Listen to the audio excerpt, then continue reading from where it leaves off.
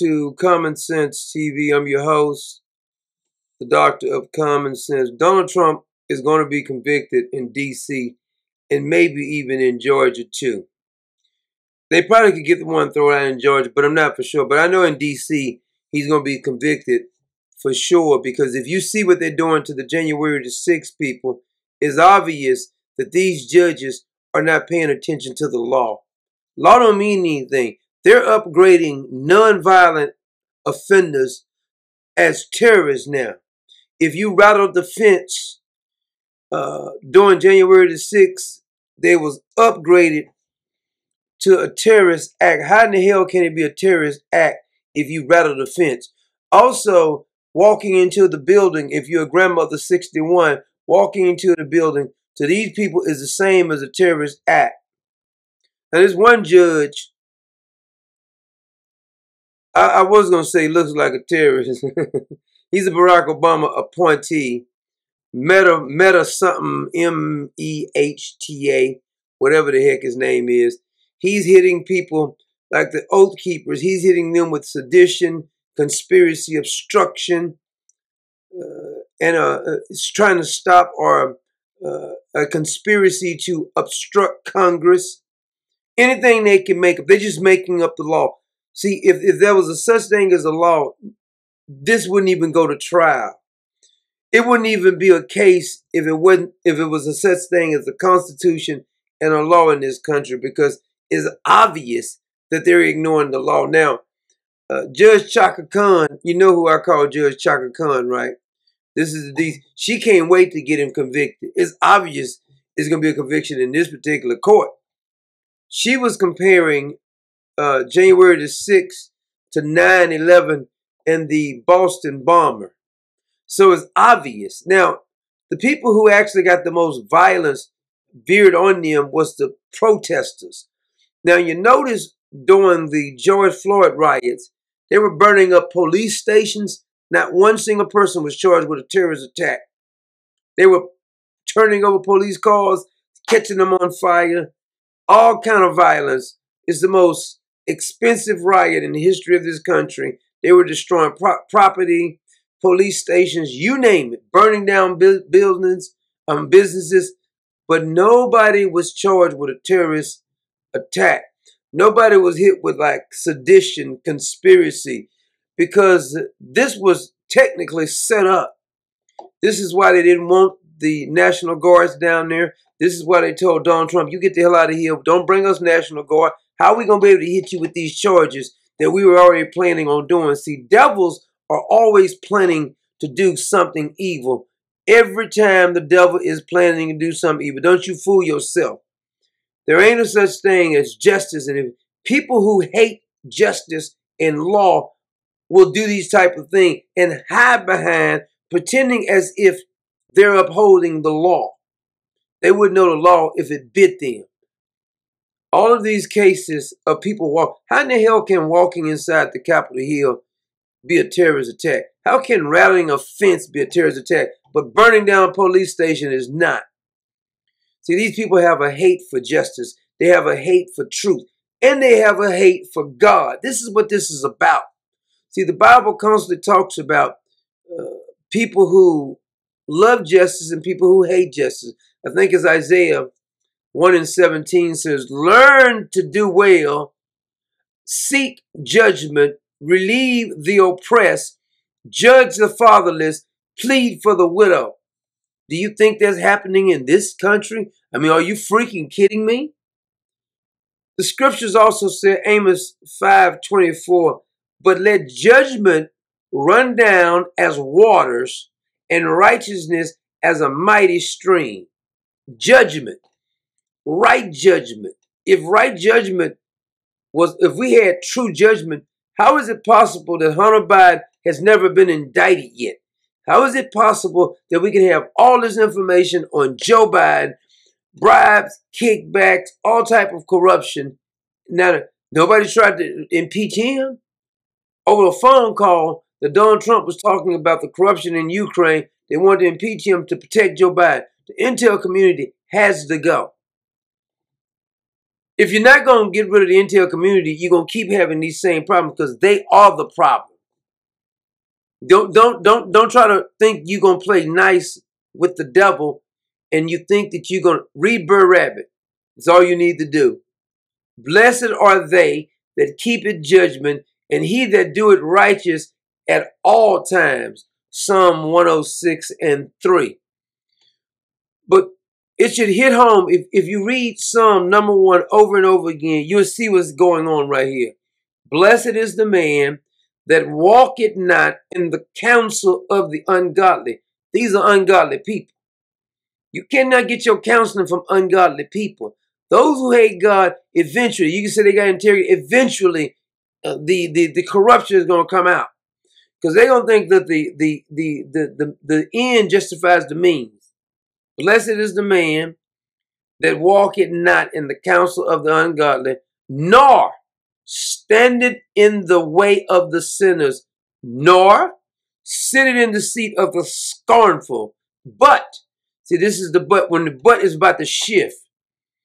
But his delight is in the law of the Lord, and in his law do he meditate day and night. What he's going to be like if you meditate on the word of God? Well, he should be like a tree planted by the rivers of water. Plant a tree by water and it's constantly getting the right nourishment. See, these trees that we're talking about, these fake judges, these lawyers, these senators and congressmen, they're planted in the desert. They ain't getting no water and they dry up. They're complete corrupt. It's rotten to the core. But the, the one who follows after the thing of God is like a tree planted by the rivers of water that bringeth forth his fruit in his season, and his leaf also should not wither. Whatsoever he doeth shall prosper. These folks, they got to have something bad happen to them. I'm trying to tell you, let me help you out. Stop having sympathy for the devil. These people are devils, and those who support them are devils. I don't care they try to dress it up. These, these so-called fake ankles and stuff. If they do all this stuff and we can prove that Joe Biden did this, we can prove Hunter Biden did this, we can prove they burnt down cities while CNN and Miss MSNBC was saying this is mostly peaceful. Fires right behind them, whole building burning up. They said this is mostly peaceful. You're not going to be able to have rational conversation with these people. You just not. You may well come to that conclusion. They live in darkness. The light switch don't come on with them. The breaker box has been taken out. You can't turn on the lights by the light switch. They ain't got no breaker box. Matter of fact, ain't no power running to the house. Complete darkness. That's who these people are. They live in darkness. And there's no need you think you're going to get light out of darkness. This is like trying to find fresh drinking water out of a sewage. These people are, their minds are sewages. I'm trying to, I'm trying to paint the picture for you so you can actually get it, so you can think you can stop trying to have rational conversations with these evil, evil people. Now, if I told you, just imagine this right here. Uh, you got a, you know what a 55 gallon drum looks like? Just say uh, a, a plastic 55 gallon drum. You can have a metal one if you want it.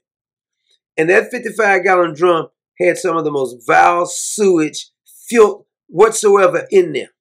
All kind of sewage in there I mean, waste, you name it, it, is in there. Throw a little cyanide in there too.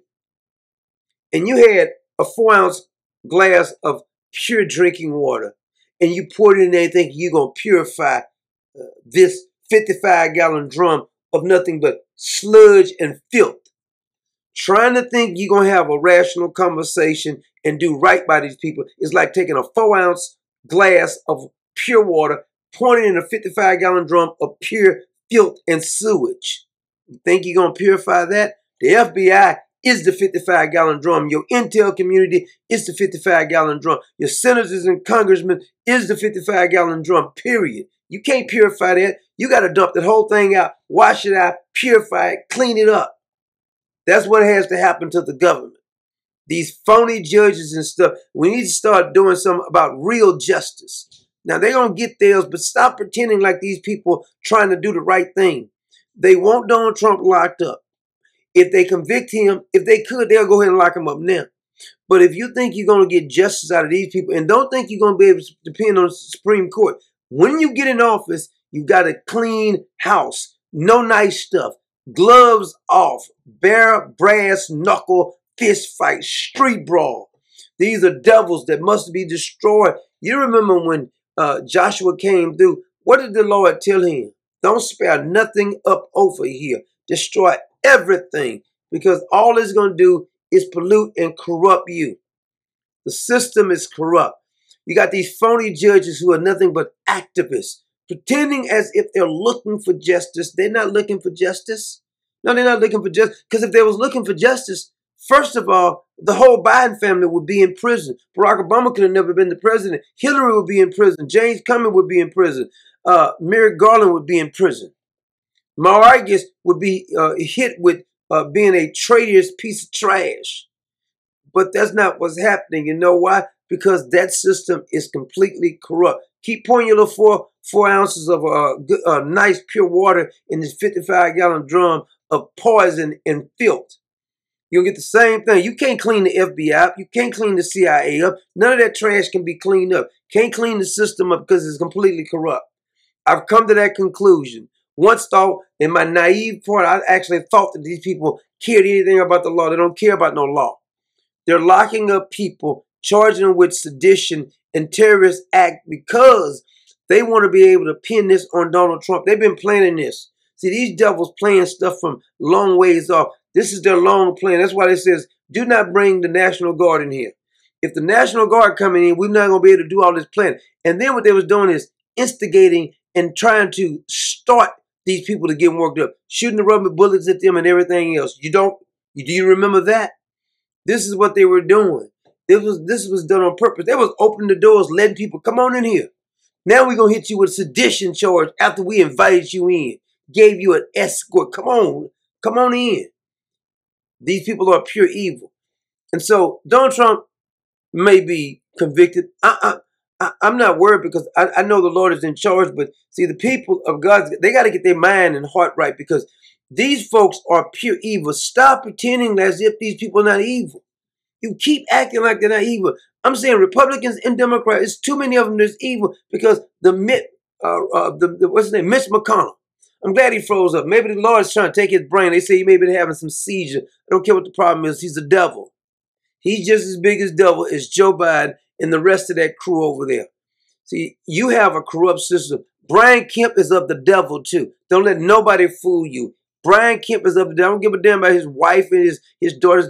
That's devil. They got they're up the devil. Quit trying to pretend. These folks are charged upgrading rattling fence as a terrorist act.